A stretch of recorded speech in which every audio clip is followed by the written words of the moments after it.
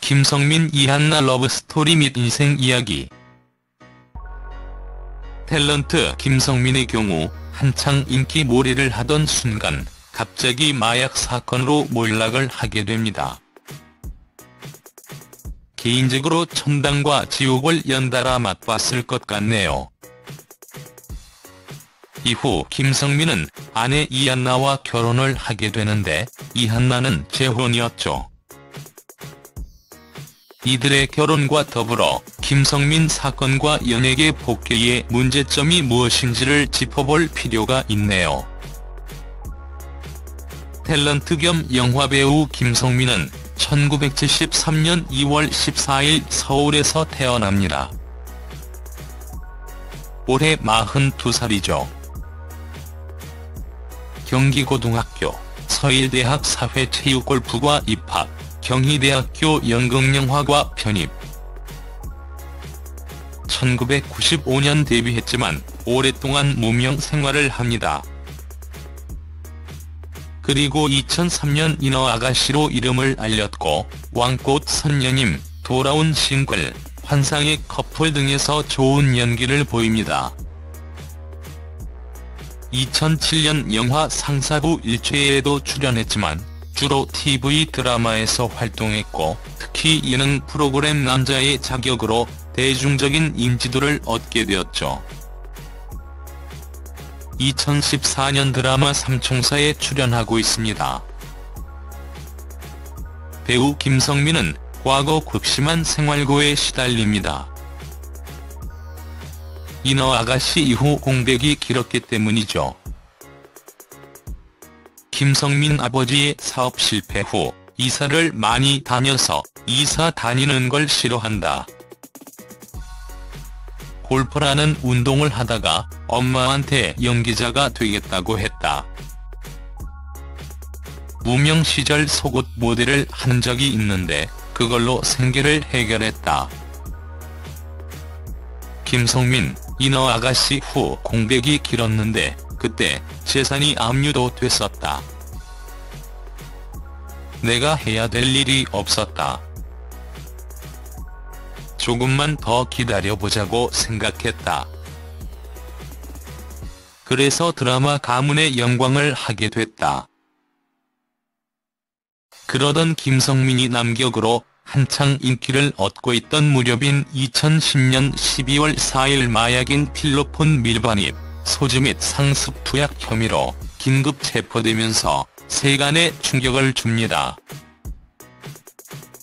또한 출발 비디오 여행으로 유명한 전창걸과 함께 유흥가 여성들과 마약 파티를 한 것으로 밝혀졌죠.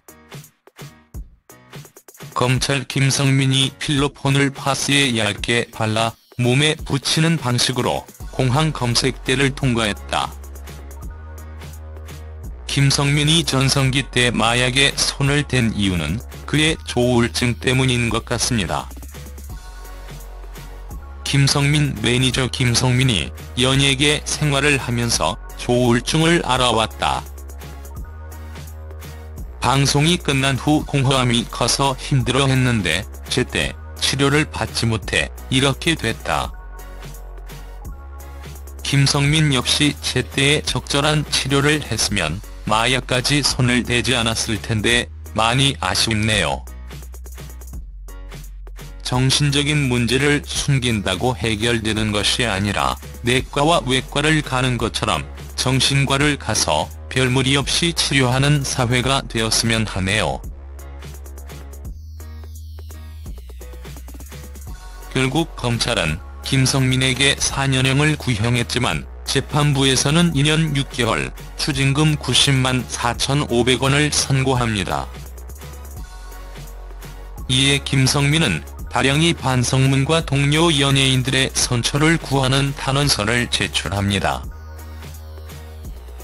결국 2심에서 김성민은 집행유예 4년, 사회봉사 120시간, 약물 치료 강의 40시간형을 언도합니다.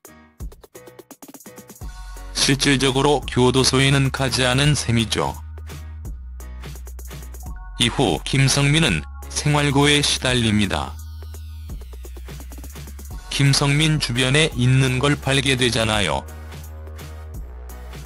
카메라 팔았고요. 연기 대상에서 받은 금 팔았어요.